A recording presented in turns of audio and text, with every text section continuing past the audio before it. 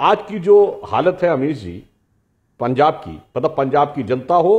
के लिए पंजाब कांग्रेस की तरफ़ से और कांग्रेस कार्यकर्ताओं की तरफ़ से, कांग्रेस के नेतृत्व के लिए, मुझे वो एक पुराना गीत याद आता जो बचपन में सुना था, उसका जो अंतिम लाइन है, सौ रूप धरे जीने के लिए,